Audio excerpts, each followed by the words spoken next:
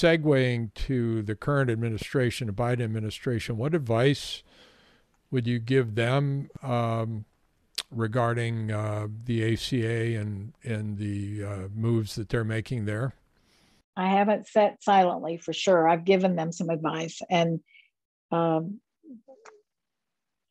among my advice is to look at California, to look at the states where it's been very successful, both in getting a lot of people covered and in um, having competition, uh, holding premium rates down. I believe last year in California, the rate increases were less than a half a percent.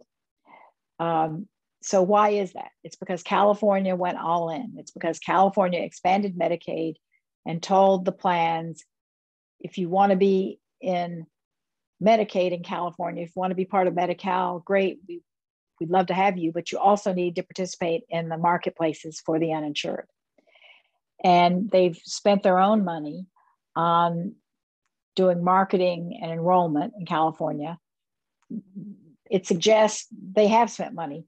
Um, even so, the so called young invincibles have been hard to bring into the marketplace.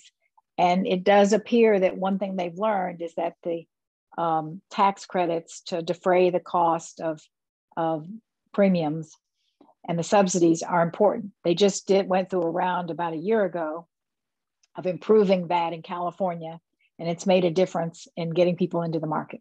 So there's a there's a whole playbook from California um, of how you go about strengthening this law um, and by the way, it doesn't involve a public plan. They haven't had to do that. They have plenty of competition. So I believe that we can do that. Uh, I believe President Biden has already taken a start towards that and what what just passed the uh, the Rescue Act. So that's what I would do. I would build on that foundation.